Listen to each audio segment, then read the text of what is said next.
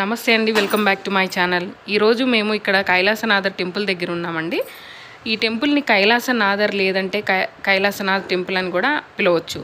ఇది correct location వచ్చేసి కర్నూలు ఉంది కదండి. కర్నూలు నుంచి నాలుగు వందల యాభై కిలోమీటర్ల దూరంలో ఉన్న కంచీపురానికి వెళ్ళాలి అంటే ముందుగా తిరుపతి లేదా చిత్తూరుకి చేరుకోవాలండి. అక్కడి నుంచి నేరుగా బస్సులో వెళ్ళొచ్చు. లేదంటే కర్నూలు నుంచి నేరుగా చెన్నైకి వెళ్ళి అక్కడి నుంచి కంచికి చేరుకోవచ్చు. మనకి చెన్నై నుంచి సిక్స్టీ ఫైవ్ కిలోమీటర్స్ ఉంటుందండి. ఈ ఆలయం యొక్క ప్రత్యేకత ఏంటి అంటే ఈ ఆలయం అతి పురాతన ఆలయం అండి. ఇది ఐదు వందల డెబ్బై ఏడు సంవత్సరంలో కట్టారు. రాజనరసింహ పల్లవ ఏడవ శతాబ్దంలో విస్తరించారండి. పల్లవులు నిర్మించారండి ఈ ఆలయాన్ని. ఈ ఆలయం శివుని మీద భక్తితో ఎనిమిదవ శతాబ్దంలో పల్లవరాజు నరసింహన్ నిర్మించారు.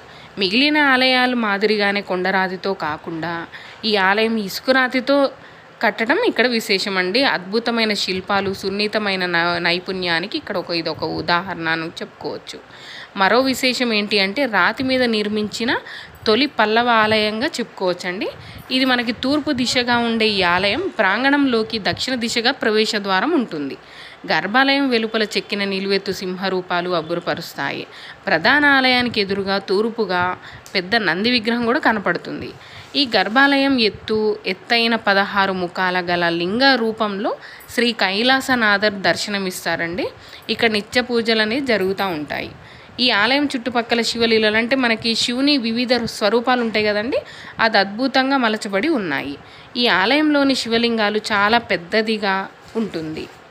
మరో విశేషం ఏంటి అంటే శివలింగం పక్కన ఉండే బిలంలోకి వెళ్ళి బయటకు వస్తే మరో జన్మ ఉండదని ఇక్కడ భక్తుల విశ్వాసం అండి. కానీ బిలంలోకి మనం వెళ్ళొచ్చు కానీ సులభంగా మనం బయటికి రాలేమండి కొంచెం కష్టం ఉంటుంది ఇప్పుడు.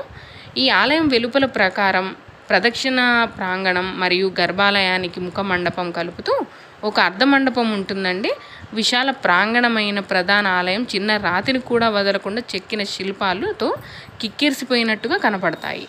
ఇక్కడ సున్నితమైన నిర్మాణంతో పాటు ఆలయంపై విమానం మరియు మందిరంపై గోపురం ప్రసిద్ధి చెందిందండి. ఆలయంలో కూడా నటరాజ భంగిమలో ఉన్న శివుడి యొక్క నగీషి చెక్కి ఉన్న ప్యానల్స్ ఉన్నాయి. Please like share and subscribe.